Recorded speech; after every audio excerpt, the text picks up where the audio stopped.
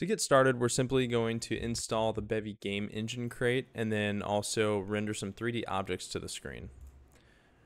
First, we need to create a new Rust binary using the new the cargo new command. I'm going to call mine third person tutorial.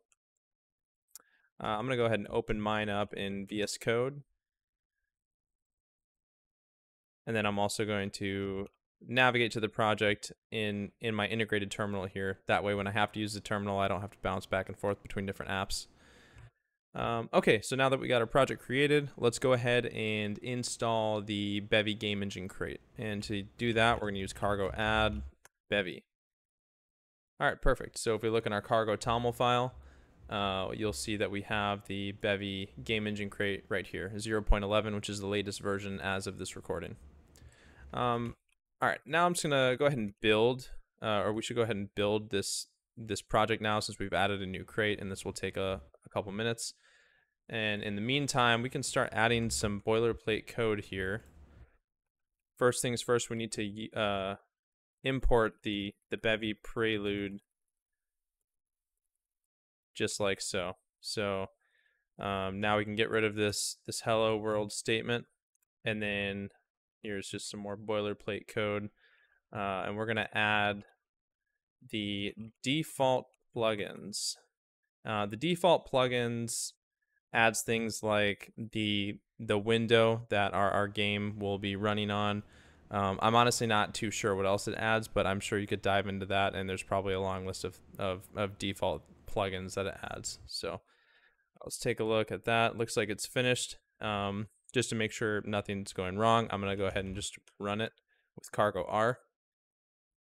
And we should just get a blank window here. Yep, blank window. And I, I still have MSI Afterburner up, so I'm going to go ahead and get rid of that so that doesn't distract us. All right, very cool. Uh, now we can go ahead and write our first system. So we're going to first create a floor that the player will be standing on and running around on. Um, so I'm going to create a new system called spawn floor. And we're going to need a few different parameters here. First, we need our commands that's going to actually spawn this entity into the world. Um, then we need uh, meshes. Uh, this will control things like what the what the object will look like if we want a square or a sphere or a cylinder, things of that sort. And that's just a resource just like so. And then we need one more resource called materials.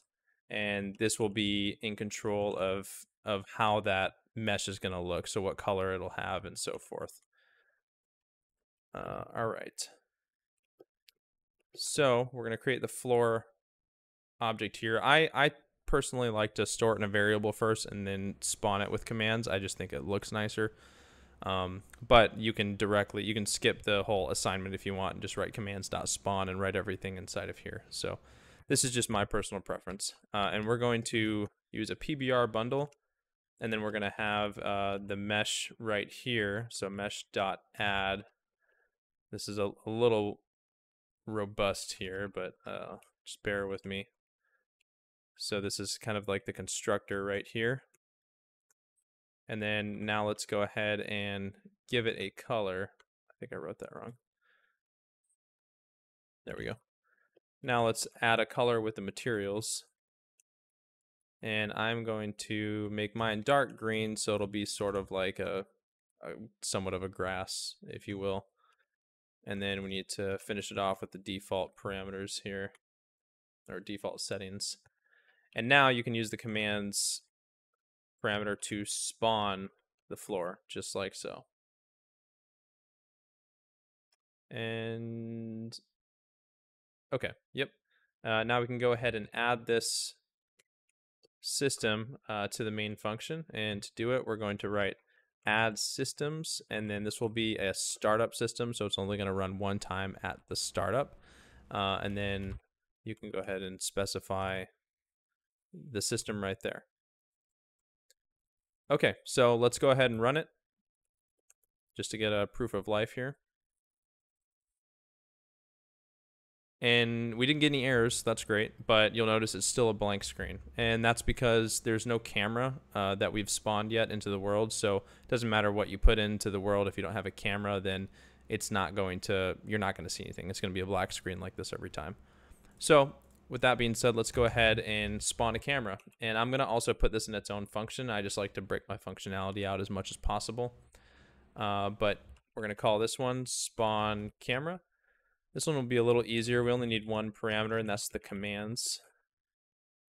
And then let's go ahead and store the camera 3D bundle into its own variable, just like we did with the floor.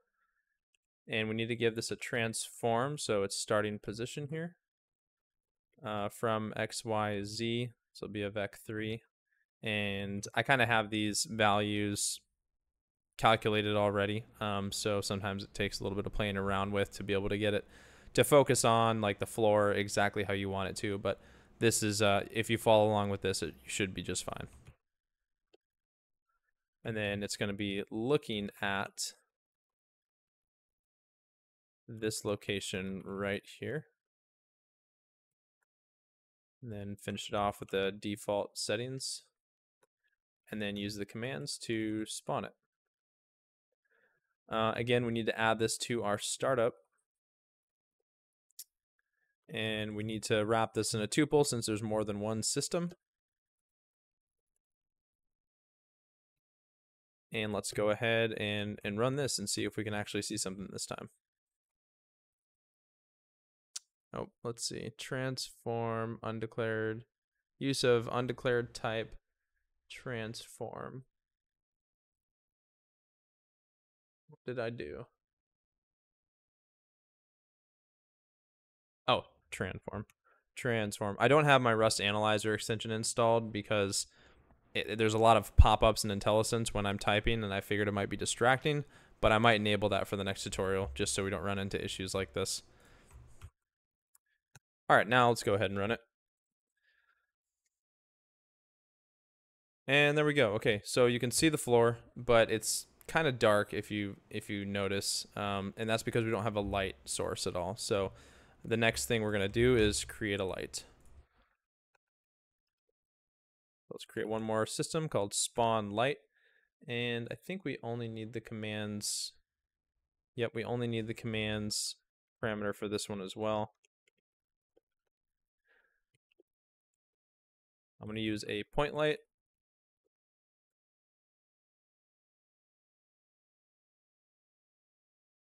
Uh, give it an intensity of intensity of 2000. That should do. Might be overkill.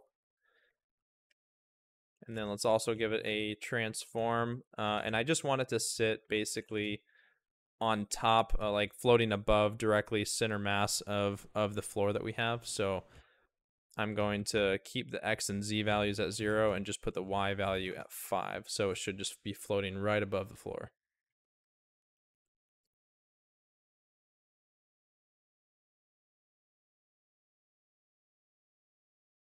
Okay, now let's add this to our startup systems here. Uh, cool, let's run it one more time. Okay, perfect. Now you can actually see the floor a little bit better on this one. Now let's create a player object. And to start with, we're just going to have a, a square, um, a cube.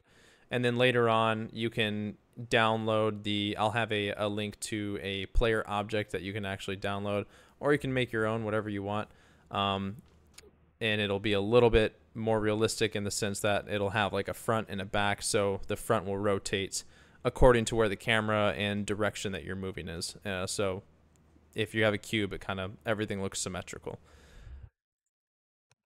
all right let's create the spawn player function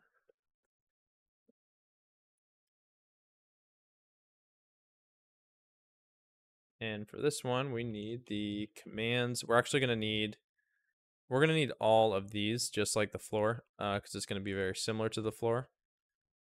So I'm just going to steal them straight from the floor there.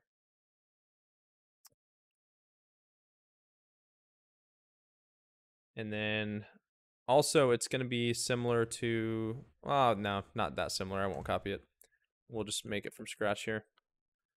All right, so player equals uh, PBR bundle mesh meshes dot add mesh from shape cube this time and we'll give it a uh, dimensions of one by one and then let's go ahead and give it a color as well I think I'm gonna make mine blue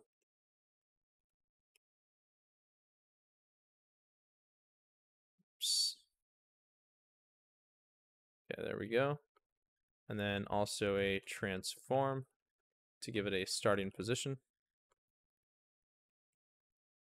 And I'm going to make it at 0.5. Um, actually, I'll make it at 0 so that way you can see why I do want it at 0.5. So we'll run it twice here in just a second.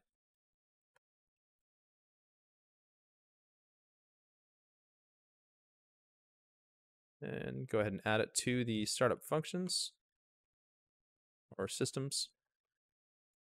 And let's run it.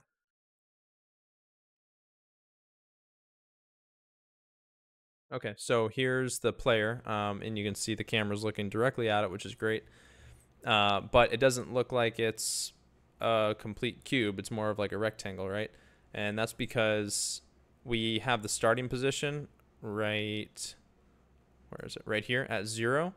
Um, and it's a it's a one it the unit of measurement is one for the dimensions of the square. So only half of it is sticking above and half of it sticking below. Um, that's because of its its relative uh, to the well, it's not relative, but it's it the the it's it's just interfering with where the floor is at right now. So to fix that, we're gonna make this 0.5. Run it one more time, and you'll see that it'll look like it's sitting directly on top of the floor. Perfect. Okay, so that's it for the first tutorial. In the next tutorial, we're actually going to break this code up into different files a little bit just to keep our organization cleaner uh, the farther along we go and the more code we add. All right, see you in the next one.